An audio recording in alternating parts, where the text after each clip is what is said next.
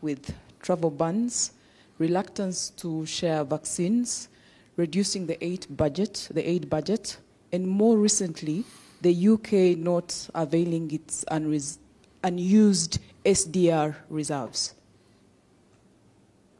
Thank you. Thank you very much. Well, Berna, actually, I think when you look at what the UK did during the, the pandemic, it was, it, was, it was pretty remarkable. And I know that, um, that you know, we, we would always want to, to do more, uh, but particularly when it came to uh, vaccines that you, you mentioned, um, uh, we supplied the people, the, the Oxford Astra, AstraZeneca vaccine uh, that was supplied at cost, thanks to the, the deal that we did with, with AstraZeneca, thanks to the investments we made uh, in that project. 1.4 billion doses uh, were distributed around the world. It was, it was the world's most popular vaccine, I think. And I mean, I had it. I don't know if anybody else has had AstraZeneca. Uh, it, it, it, was, it was something that uh, was made possible thanks to the, uh, the contribution of the, of the UK, uh, of UK ODA spending, and I think that's a, a, a great, great thing. Um, James, uh, but, but, by the way, may, I say, as, as an outgoing chair in office, uh, you, you, mentioned the, uh, my, our job as chair and office of the, of the Commonwealth. I just want to pay particular tribute to, to Rwanda uh, for what they're doing. I think it has been a fantastic uh, summit so far, and I wish them uh, every possible success. I wish President Kagame every possible success. Uh, James Karuhanga from the New Times. Thank you, Prime Minister. Thank you, Prime Minister. I had I listened to the responses you gave the UK Parliament a few days ago about the question of the genocide fugitives in your country. And I keep wondering, is justice delayed not just denied. What's your take on that? Yeah. Is it even a Commonwealth value to delay justice for over two decades? Thank you very much, James. And uh, this is a, is a case of the, uh, the, the, I think it's the four genocidaires uh, who, are in, who are in London. And uh, I answered a question in Parliament the other day.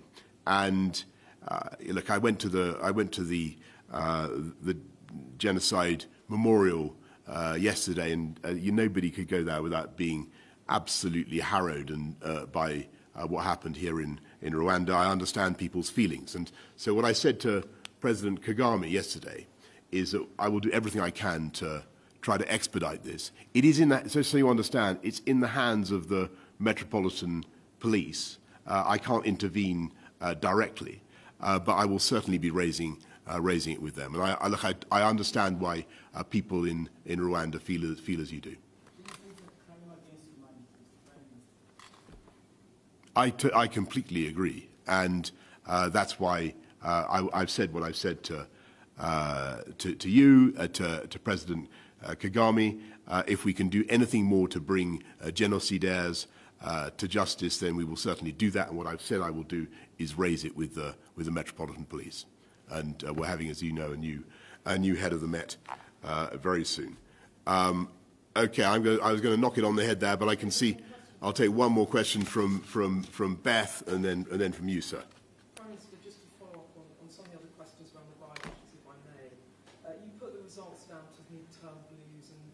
No, I didn't say. that. Yeah. But Oliver Dowden, down to far more to that today. He said supporters were quote distressed and disappointed by recent events and he shared their feelings.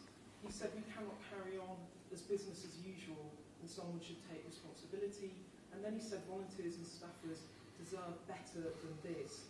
I know you've dismissed suggestions you've resigned as crazy and you intend to carry on if you won the confidence vote. But I imagine some colleagues back in London might be pretty astonished watching this press conference, given that you've been asked repeatedly and you don't seem to acknowledge that you could be part of the problem. You and your conduct could be part of the problem uh, with voters. Why, why won't you acknowledge that? I mean, you're safe. You, have won the confidence Let, let, me, let me try to give you, give, you the, give you the best answer I can, which is that, first of all, on Oliver, uh, I think he uh, did a lot of uh, good work, particularly uh, as chairman, but also as, as Secretary of State for uh, DCMS. on, on broadband rollout, uh, on uh, veterans affairs, and, and other things. I thank him for, uh, for his service. But I, I'm genuinely, genuinely don't think uh, the way forward in British politics is uh, to focus on issues of uh, personalities, whether they are mine or others. The way forward uh, is to make arguments to people about change and improvement uh, that we are delivering. And that is what I want to do. I think the, the government has got some difficult stuff right. People are now going through uh, a tough time. We understand that. I think that we have the, the best way forward. I think that we understand how to fix our economic issues, how to uh, make sure that we have a, a stronger economy, and that is what we're going to achieve. I think some signs are, uh, are promising, but I, you know, I've got to be I've got to be clear with people as I was during the the pandemic. I think um, it will take some time, and there will still be some some some tough times ahead. No doubt, uh, Beth, people will you know will continue to to beat me up uh, and, and say this or that about, you know, and to, to, to attack me, that's fine. That's quite right. That is the job of politicians.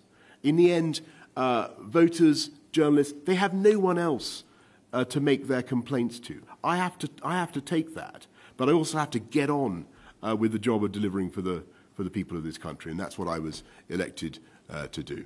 And I'm going to take one last question. Prime Minister, my name is Ethan. I'm from Rwanda TV. One, um, Rwanda and the UK are working together on several development projects. As a matter of fact, the UK is the biggest donor in Rwanda. Are you satisfied with the results that you've seen so far and your few days here? And uh, what memories do you take with you back home? And if you could as well tell us, Togo, Gabon, and Zimbabwe are requesting to rejoin the Commonwealth. Do you have the latest uh, from the meetings you had? Thank you. Well, thank you. Well, look, I, I, I, was longing to come to Rwanda. I was very sad that the, uh, the summit kept being postponed. Uh, it has certainly lived up to my uh, expectations. It's an incredible country and uh, clearly the product of really vaulting imagination. Uh, to take somewhere that we had really been uh, in the, the, the very depths of despair uh, after the, the genocides and then to work and work and work to create a, a, a culture, uh, an environment that is clean, uh, focused on uh, so many things, so many values that I think are, are admirable. So, you know, whatever the, the difficulties that uh, may exist between uh, my country and, and Rwanda about this or that, and of course there are going to be issues that we're going to continue to raise and, and, quite, quite properly. but my overwhelming impression is of a, of a, remarkable country, and I wish I'd been able to see, to see some of the, the countryside, but I, I, I haven't. Um, uh, I, I, on, and on your question about uh, uh, Gabon and Togo, we, we'll just have to, uh, to wait and see. And Zimbabwe, that is a matter for the, for the Commonwealth. And I've taken two more. Thank you all very much. Thank you. Thank you.